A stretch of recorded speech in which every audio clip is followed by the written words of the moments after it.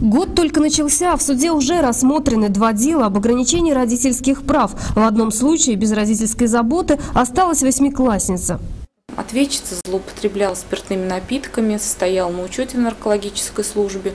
И ситуация уже дошла до такого состояния, что мать просто не контролировала своего ребенка. Не воспитывала и не контролировала дочку, это мягко сказано. Мать сама пила и спаивала собственную дочь. Девочка ночевала в квартире одна со своей подружкой, распивали они спиртные напитки с девочкой. Э, при этом, э, как было установлено, что э, в некоторых случаях мама сама покупала спиртосодержащие напитки своей дочери и ее подруги.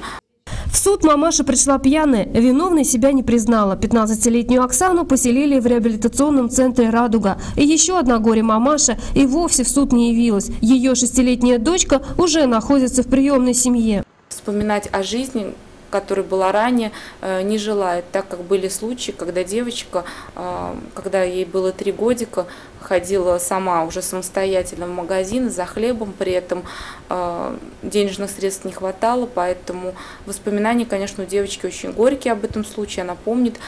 О том, что по вине матери пострадал ребенок, соседи знают, но по-человечески сочувствуют и пытаются найти ей оправдание.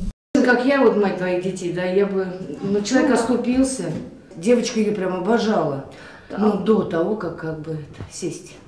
32-летняя мамаша отсидела за наркотики, а когда вышла на свободу, ей уже было не до дочки. Татьяна Баловнева, Виталий Немов. Новости Димитровграда.